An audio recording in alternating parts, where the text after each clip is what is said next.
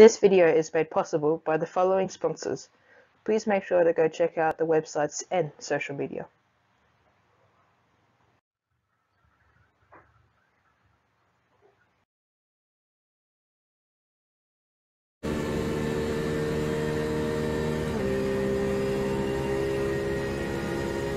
Hello, uh, today I'll be explaining how to drive around the Daytona circuit,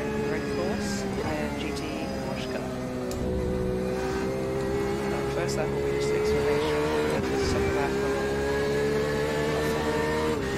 hold back. See what I.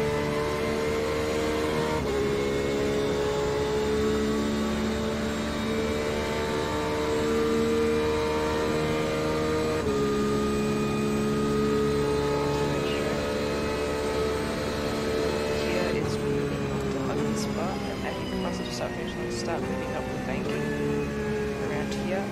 brake where that yellow sign is, and make sure you're braking in a straight line so you don't lock up anything, especially rears, because it's slightly off cambered.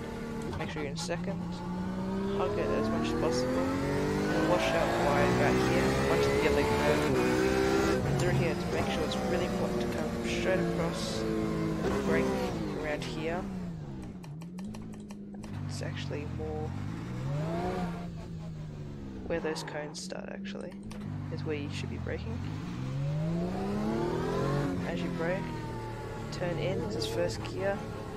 Use a little bit of that curve on the inside and wash out wide and this exit curve is your reference point in how you're taking the corner. Don't use all of it. This left should be easily flat. You want to be braking around here where the cones end. It's really easy for the rear to kick out. Just get a little bit of that big corner understeer. and You want to hug it as much as possible and minimize traction from this Through here, brake about here, turn in, and once again minimize traction control usage and hug it as much as you can. And stay as close to the yellow line as possible. Don't go beneath apron.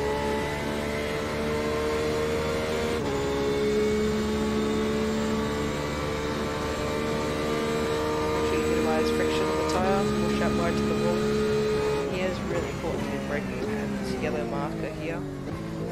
Brake here, a little bit of brake, not too much, so you can get the just pitched in. Use as much curve here as possible.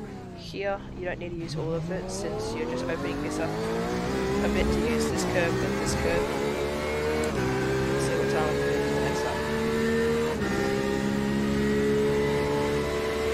Run a bit high for a bottle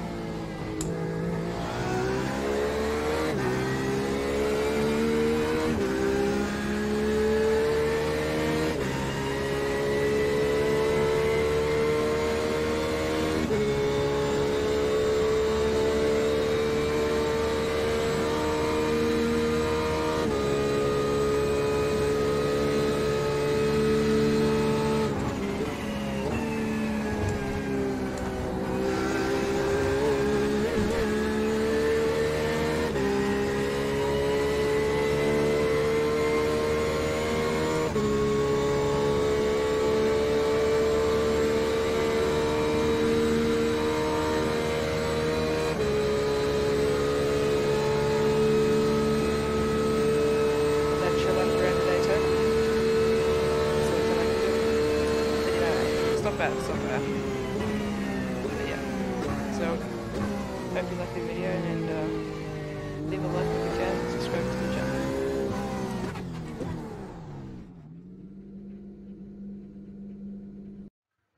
Thanks for watching. If you liked the video, please leave a like and subscribe to my channel. Also, big thanks to all these people for keeping me on track. Thank you.